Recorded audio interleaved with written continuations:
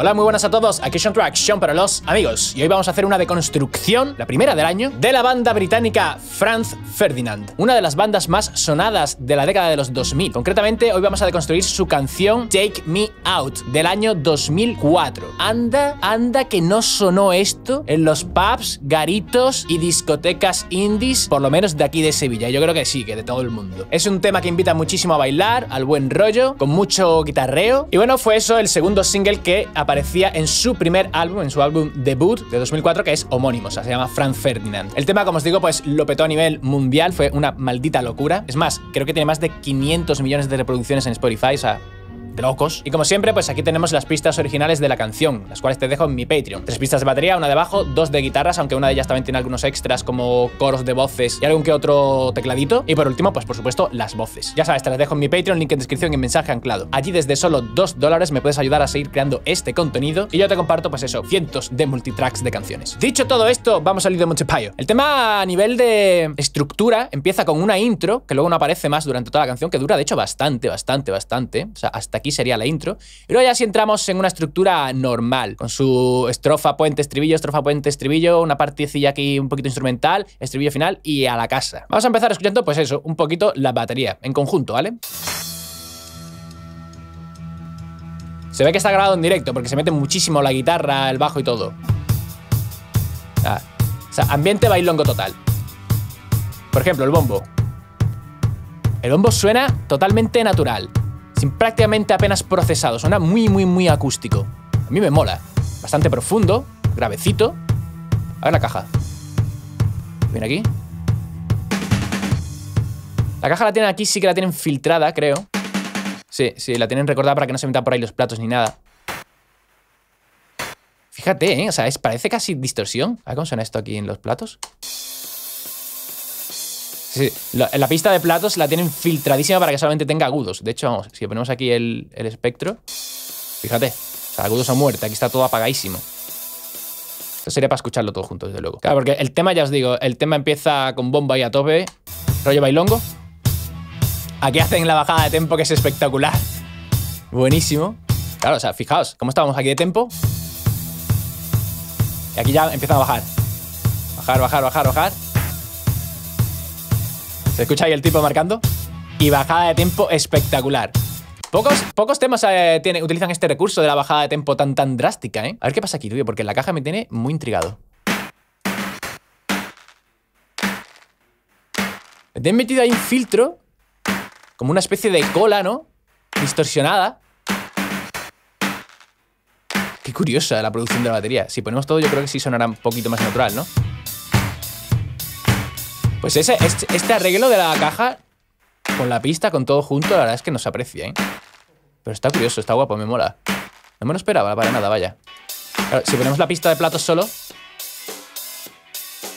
es como cuando se ve más acústico todo, ¿no? La naturalidad. Pero después, ya te se han dedicado a filtrar ahí a tope y han hecho una producción de batería bastante, bastante curiosona. Y yo creo que ya prácticamente es este el ambiente de la canción. El hi-hat a contras siempre, bombo a negras siempre y la caja pues en el 2 y 4. Ahí hay también como un refuerzo de palmitas, ¿no? Aquí, claro, para, para lo que es el puente. No sé si esto sería el puente. Sí, yo creo que sí. Cambian la forma en que pegan al hi-hat. No, lo hacen ahí de corcheas. Y ahora ya volvemos al contra. Ahí lo tienes. Está. Son las, dos principales. De hecho, yo diría que no hay ni un maldito tom en toda la canción. No, no, no. No hay ni un maldito tom. Bombo, caja y platos. Fin. A tu casa. Y el final.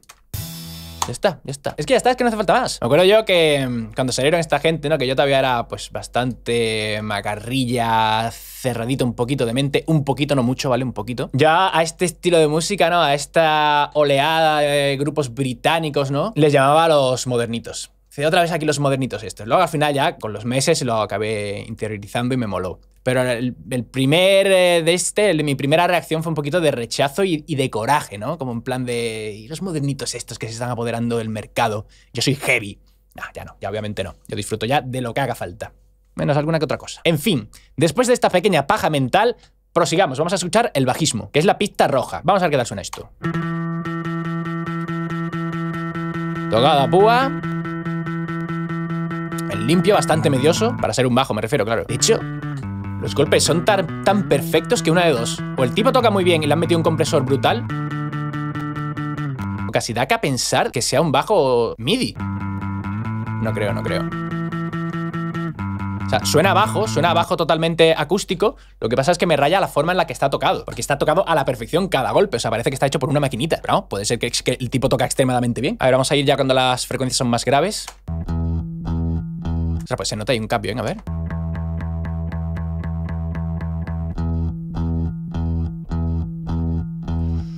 Ahí han cambiado de bajo, de ampli y de todo, yo creo, en este cambio de aquí, ¿eh? en, este, en este cambio de, de tono. Han cambiado, ha cambiado el equipo absolutamente entero, vaya. Entero lo han cambiado. Aquí suena mejor, ¿eh? Me gusta más. El otro era como más eso, más de coña.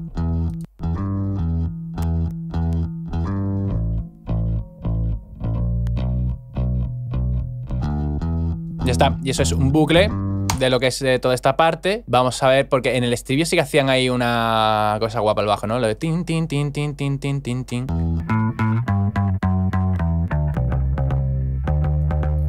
Aquí han vuelto a coger el bajo de la intro, tío. O sea, se ve que habrán hecho como dos setups diferentes de bajo. Cosa más rara, no, he visto una cosa ahí en mi vida, la verdad. Que yo creo que es que eso, han cambiado tanto el bajo como el, amplificador que utilizasen. Para la estrofa han utilizado un bajo que tiene un sonido como más moderno, que es el que acabamos de escuchar, y para la intro y el estribillo, ¿no? O el puente, no sé muy bien cómo llamar esta parte, han puesto un bajo como más cascado, vamos, este de aquí.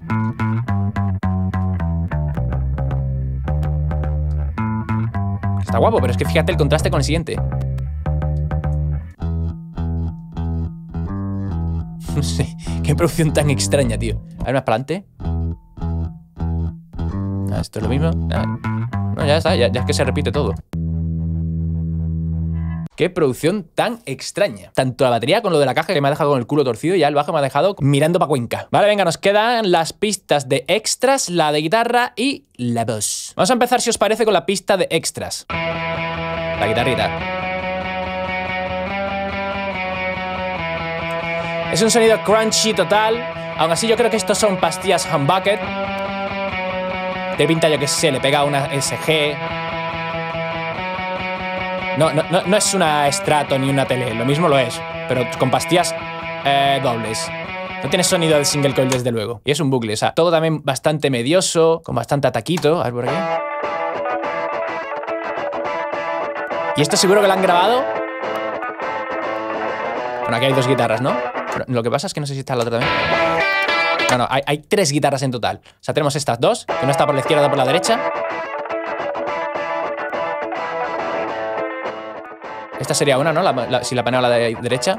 Que suena súper hueca. O sea, esta han tenido que grabarlo con un amplificador súper pequeño, muy, muy, muy pequeño. ¿Y esta otra?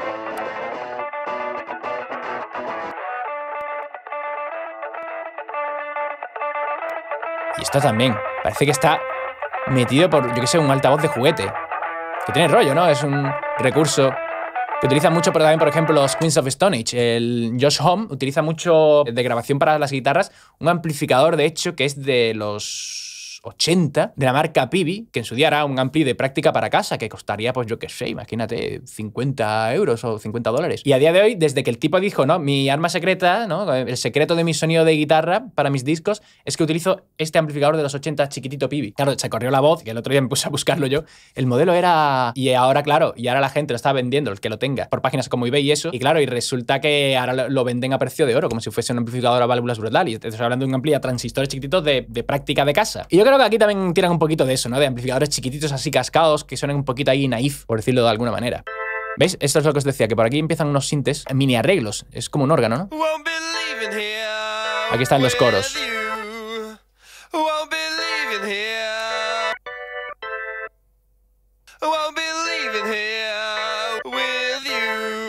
Y ya todo lo mismo. Vale, eso sería la pista de extras y ahora vamos a escuchar la que sería la, la oficial de guitarra, ¿no? Donde está la guitarra principal, por así decir. Pero vamos, el tema tiene tres guitarras, ¿eh? Esto sí está tocado ya con una amplia válvulas, gordo, potente, con sus pantallacas, ¿eh? Porque esto tiene un cuerpazo importante.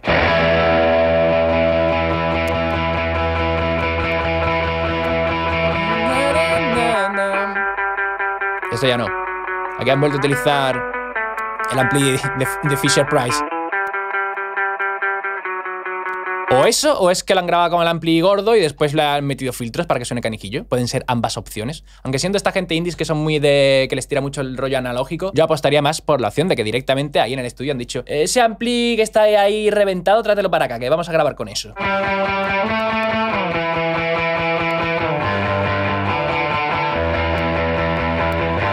Esta, la guitarra grave, sí puede ser que sean single coils, yo creo.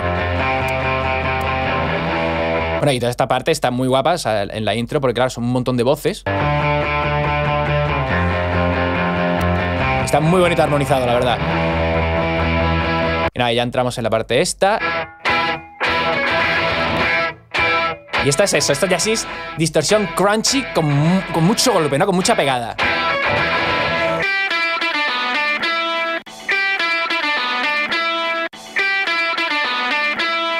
Tiene rollo, tío. Esta guitarra tiene mucho rollo. Aquí volvemos al rollo super medioso, hueco. Es que es hueco, tío. La palabra que define este sonido es hueco. A ver qué más tenemos. Este es un arreglo nuevo. Son arreglos muy, muy de niño, tío, en realidad. Vale, ya está. Esos son todos ya repeticiones en la guitarra. Vamos a ver aquí el final.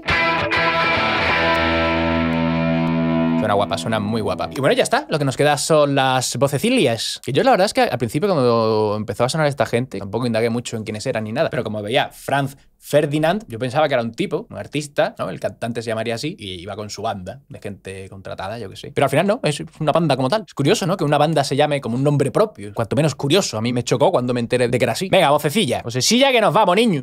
So if you're lonely, Oh, extremadamente comprimida, ¿eh? you know I'm here waiting for you. I'm just a crosshair. I'm just a shot away. from- muy comprimida, pero si os fijáis, eh, siempre al principio de las primeras sílabas, cuando viene de silencio, hay un pequeño pico. Eso es porque en el compresor han recortado un poquito el ataque, para que no suene tan extremadamente sin dinámica. So if you're lonely, O sea, tendrá un ataque de, yo qué sé, de varios milisegundos, ¿no? De- de- concretamente de esto de aquí, este trocito exclusivamente, cuando empieza la señal. ¿Veis? Así en general, si lo veis, siempre hay un pequeño piquito al principio de cada sílaba, después de un silencio. I'm just a shot away from you. And if you leave here, Uh, ahí ha habido un corte, ¿eh? Ahí han hecho un empalme, creo. if you leave here, En el live, fijaos que suena raro ahí. and if you leave here, Ahí han hecho un empalme de dos tomas. Está clarísimo. You leave me broken, shattered, I lie. I'm just a crosshair. Y Yo creo que el previo era así como rollo a válvulas o después lo han saturado de alguna manera porque tiene un brillito especial, ¿no? I'm just a shot, then we can die. Ah. Y fijaos que eso, el recurso de que no tiene absolutamente nada, de nada, de nada de reverb. O sea, es todo ultra mega seco. Y en general toda la producción, ¿eh? Todo suena muy, muy, muy sequito. I know I won't be leaving here ahí que al final se le iba un poquito el de este, pero el tono. Pero da igual, como esto es medio, medio, medio, medio, medio, y vuelvo a repetir medio punk, pues se queda, se queda y ya está. I say, don't you know? You say you don't know. I say. Voces dobladas. Take me out. I say you don't show. Don't move. Time is slow. I say. Take me out. Además está guay porque son dos voces dobladas, pero no van muy, muy, muy, simétricas, sino que cada una a lo mejor va improvisando un poquito, como prácticamente no es melodía, o sea, sí hay melodía, pero a veces es como medio hablado. No es que lo haya hecho las dos, las dos son más iguales, sino que intencionadamente eran diferentes para que suene pues, un poquitín más caótico, ¿no? Más, más guarrillo, más punky. Tenemos esto varias veces, lo mismo, y vamos a escuchar la parte esta. I know I won't be leaving here. I know I here with you. Y poco más, chavales, la verdad es que no... O sea, ya lo que quedan son repeticiones, creo recordar. You. El with you y a tu casa. Y hasta aquí, amigos míos, el análisis de construcción del día de hoy. Tema movidito donde los haya. Clasicazo de los 2000. Ya sabes, todas estas pistas las tienes en mi Patreon, link en descripción y en mensaje anclado. Sígueme en mis redes sociales si no lo haces y nos vemos dentro de unos días con un próximo vídeo. Bye.